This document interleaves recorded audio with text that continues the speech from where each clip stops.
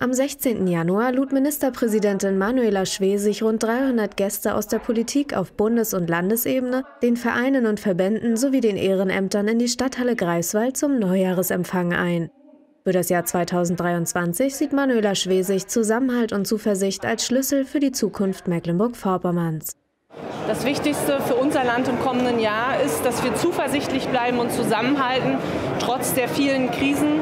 Und für mich ist das das Wichtigste, dass wir unser Land gut durch die Energiekrise weiter steuern, dass die Energie sicher bleibt und auch bezahlbar bleibt. Und ich denke, was uns alle eint, ist, dass wir uns Frieden wünschen. In ihrer Rede betonte Schwesig, dass auch im Jahr 2023 mit Unterstützung zu rechnen sei, um Fortschritte in allen Lebensbereichen zu erzielen.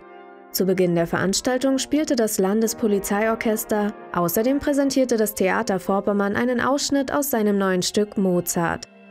Ebenso wurde der Verdienstorden des Landes Mecklenburg-Vorpommern verliehen. Mit ihm ausgezeichnet wurden Sabine Kirton, Landesvorsitzende der Frauenhilfsgruppe Krebs, Dr. Heike Müller, Vorsitzende des Landfrauenverbandes und der heimische Künstler Günter Oecker.